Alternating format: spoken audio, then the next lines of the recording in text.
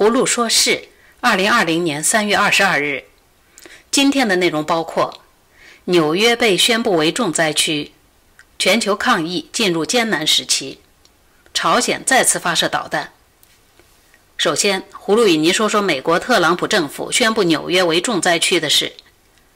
三月二十一日，特朗普总统在记者会上确认了周五晚他已批准联邦紧急事务署发布的纽约重大灾难宣言。他说，跟纽约州长科莫密切合作。称此为前所未有的联邦政府对灾情的回应。截至周六下午的数据，全美确诊病例为两万四千一百四十八，比一天前增加了七千五百一十例。周五的数字是一万六千六百三十八例。全美新冠病毒感染者的死亡人数为二百八十五例，比一天前的二百一十六人增加了六十九人，死亡率为一点一二。纽约州依然是全美疫情最严重的州。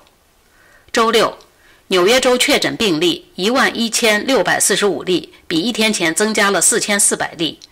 周五的数字是七千二百四十五例。新冠病毒感染者的死亡人数为五十六人，比一天前的三十九人增加了十七例，死亡率为百分之零点五四。而纽约市是纽约州的重灾区。周六。纽约市确诊病例达六千二百一十一，比一天前增加一千零四十九例，或百分之二十。周四的数字是五千一百五十一例。纽约市确诊病例占全州百分之六十。纽约州、华盛顿州、新泽西和加州是美国遭受新冠病毒打击最严重的四个州。周六，华盛顿州新冠病毒感染人数。确诊为一千五百二十四人，新泽西州一千三百二十七，加利福尼亚州一千二百八十三，四州总和占全美总数的百分之六十五。一个值得警惕的现象是，年轻的确诊感染者在增加。科莫表示，纽约将近百分之五十五的案例是十八至四十九岁的患者。葫芦认为，目前是美国的新冠病毒爆发期。但随着隔离措施的到位，被感染者将会下降。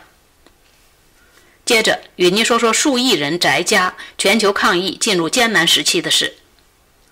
截至二十一日，全世界累计报告新冠病毒感染病例已经超过二十七万。根据路透社的统计，新冠病毒在各国造成死亡病例总数已经超过一点一万，其中死亡人数最多的是意大利，迄今已有超过四千人病亡。最早爆发疫情的中国，目前总共有三千二百五十五人死于新冠病毒感染。根据罗伯特·科赫研究所周六中午更新的数据，截至周六下午，德国新冠病毒感染病例已经超过两万。意大利和西班牙仍然是欧洲的疫情重灾区。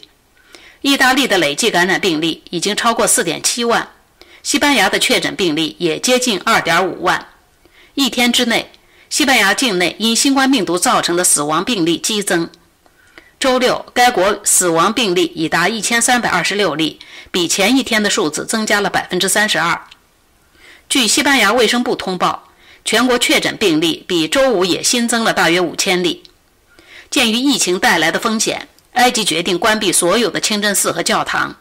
全球最大的航空公司之一阿联酋航空暂停了所有通往德国、法国、尼日利亚、纽约和新泽西的航班。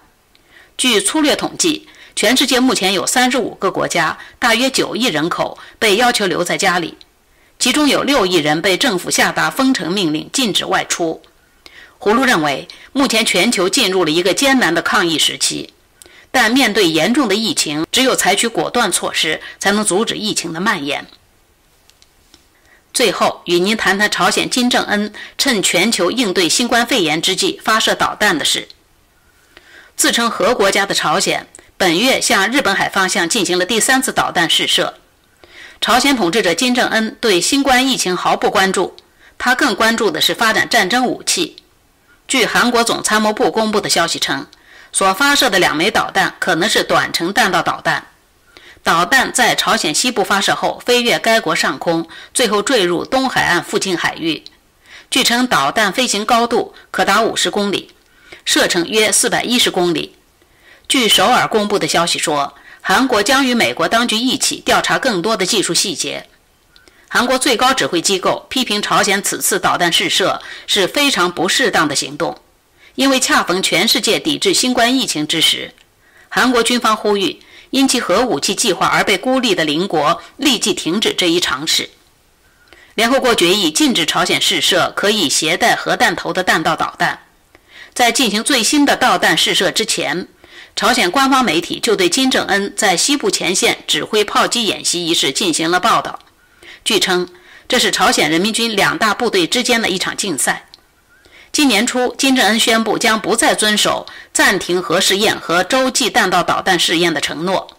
他还威胁说，朝鲜将很快拥有新式战略武器。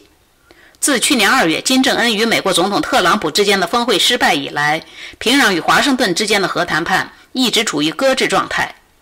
葫芦对朝鲜的做法感到愤慨，这是一种完全不顾人民死活的做法。好了，葫芦今天就聊到这里，我们明天再见。